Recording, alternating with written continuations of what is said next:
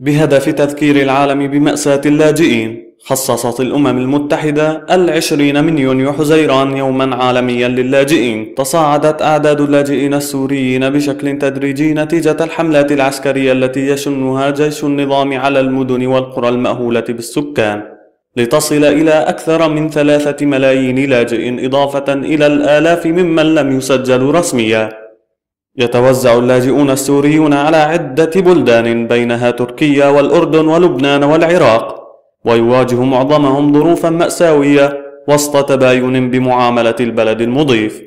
فتركيا أشارت مؤخرا إلى ارتفاع اللاجئين السوريين في أراضيها إلى مليون ونصف المليون لاجئ وأكدت أن حدودها مفتوحة للضيوف السوريين. تعترض بعض حكومات دول اللجوء على تزايد أعداد اللاجئين. وخاصة لبنان والأردن بسبب انخفاض مستوى اقتصادها. يعيش السوريون حياة صعبة في مخيمات اللجوء ويعانون برد الشتاء وحر الصيف إضافة إلى العديد من المشكلات المادية والاجتماعية والصحية منها انعدام فرص التعليم وتسجيل مواليدهم. ففي مخيم الزعتر في الأردن ثمة 1400 طفل على الأقل معرضون لخطر انعدام الجنسية. وذلك لعدم حصولهم على شهادات ميلاد.